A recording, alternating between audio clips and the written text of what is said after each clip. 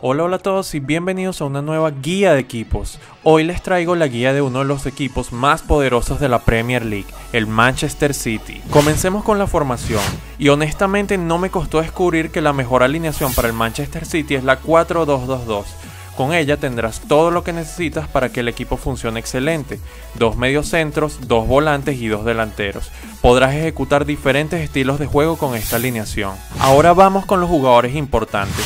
Comenzaré destacando a Vincent Company, uno de los mejores centrales que tiene la Premier League. El belga es muy sólido en defensa y físicamente un tanque. No es lento y su capacidad de robo de balón, entradas y barridas es de lo mejor que podrás conseguir en el juego. En el medio centro destacaré a Touré Yaya, Cualquier adjetivo calificativo se quedaría corto para definirlo. Es un jugador excepcional porque tiene excelente físico, buenos pases, buenos tiros y defensivamente es fundamental en el equilibrio de este Manchester City. Entre los dos volantes el que más se destaca es Jesús Navas y la razón de ello es principalmente su velocidad que te ayudará con excelentes internadas por la banda derecha. Y para finalizar destacaré a la dupla de delanteros, Kun Agüero y Edin Seco. Se complementan de excelente manera ya que el Kun es quien aporta la velocidad y las internadas entre los defensas, mientras que Seco aporta el físico, los tiros de media distancia y la fuerza.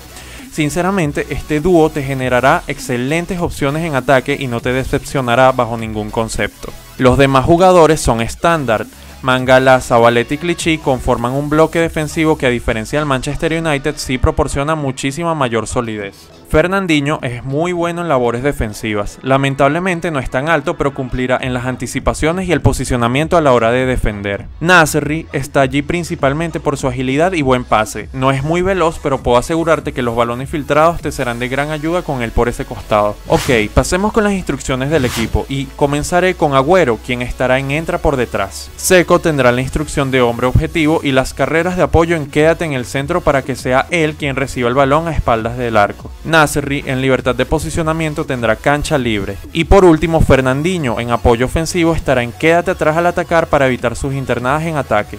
Ya que saben cómo alinear, pasemos con el gameplay. Con ellos podrá jugar balanceado y con la táctica de presión en equipo. Esto permitirá que desde los mediocentros hacia adelante se concentren en obtener el balón tan pronto la pierdan y no desordenará las posiciones de los jugadores en el campo. Los Citizens tienen algo muy positivo y es el hecho de que pueden ser usados de forma mixta.